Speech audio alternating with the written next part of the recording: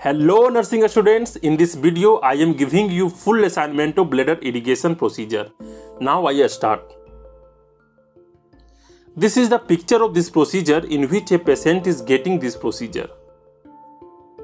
Firstly, you need A4 size paper in which make sure that put boundary on your old paper and write topic on upper side of the particular page.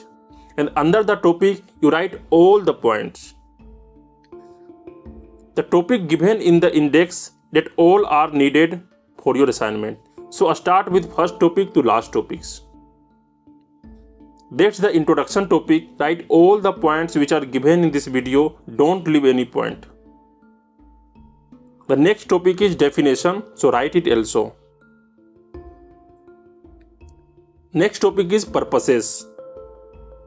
Write all the point in your assignment. That's all are important points. Next topic is solution used. In this procedure that all solution are using, so write it carefully. Next topic is general instructions.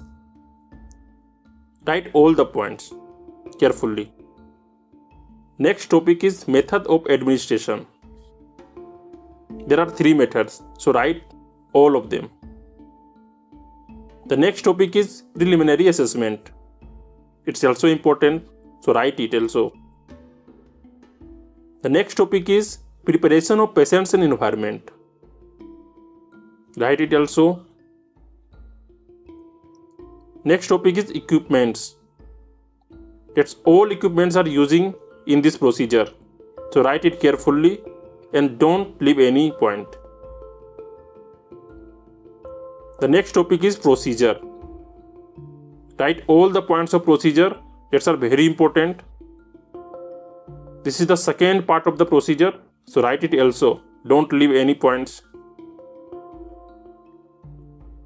Next topic is aftercare. That's a very important topic so write it. Thank you.